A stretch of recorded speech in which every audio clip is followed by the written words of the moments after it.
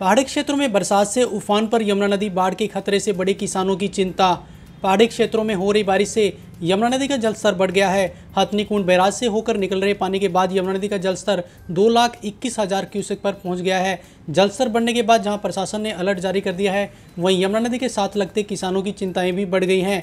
किसान बड़े जलस्तर को देखने के लिए यमुना नदी के किनारों पर पहुँच गए हैं। इस वर्ष यह पहली बार हो रहा है कि यमुना नदी का जलस्तर इतना बड़ा है, जिस कारण यमुना नदी पार खेतों में कहीं कहीं यमुना नदी का पानी भी खेतों में घुसना शुरू हो गया है, जिससे किसानों की चिंता बढ़ गई है। वहीं क्षेत्रवासी एडवोकेट वरयाम सिंह ने बताया कि अवैध खनन के कारण इस बार कृषि भूमि व आबादी क्षेत्र में नुकसान का अनुमान है।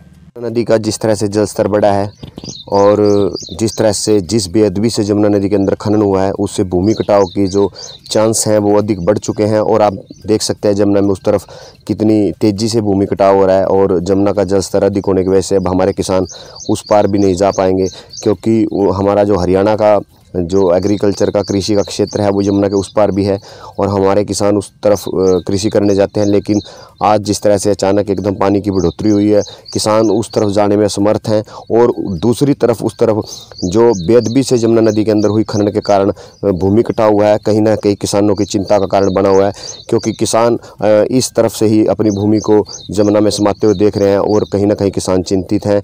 और जिस तरह से समय पर ही आवाज़ उठाई जाती थी कि अवैध खनन जो हो रहा है, वो गलत तरीके से हो रहा है, चालीस चालीस पचास पचास फुट गहरी खुदाई गैर कानूनी तरीके से की जा रही है, उस पर समय रहते प्रशासन द्वारा अंकुश नहीं लगाया गया, जिसका खामियाजा अब हमारे क्षेत्र को और हमारे किसानों को भुगतना पड़ेगा।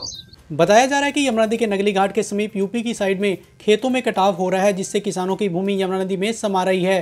वहीं यूपी साइड ही किसानों के खेतों में यमुना नदी का पानी खेतों में घुसना शुरू हो गया है। हालाँकि इस बार अभी पानी ने खेतों की ओर रुख नहीं किया है, लेकिन यमुना नदी पार खेतों में पानी जाने से किसानों की चिंताएँ अवश्य बढ़ गई हैं। किसानों को डर है कि अगर जलस्तर और अधिक बढ़ा तो खेतों में खड़ी फ़सल खराब हो जाएगी, जिससे उन्हें नुकसान उठाना पड़ सकता है, जिसको लेकर किसान यमुना नदी की स्थिति पर नज़र बनाए हुए हैं। गाँव खुर्दबन में गुरु गोरखनाथ की मूर्ति स्थापित मंडल के गाँव खुर्दबन में वीरवार को गुरु गोरखनाथ की मूर्ति की स्थापना की गई। मूर्ति स्थापना से पूर्व ग्रामीणों ने हवन का आयोजन कर क्षेत्र की सुख समृद्धि की कामना की। कार्यक्रम में हिमाचल प्रदेश में सिविल मजिस्ट्रेट जितेंद्र सैनी ने बतौर मुख्य अतिथि शिरकत की और माथा टेककर पूजा अर्चना की। इस अवसर पर विशाल भंडारे का भी आयोजन किया गया, जिसमें क्षेत्र के सैकड़ों लोगों ने प्रसाद ग्रहण किया। रादौर व आसपास की खबरों के लिए जुड़े रहें नवदेश टाइम के साथ। नमस्कार।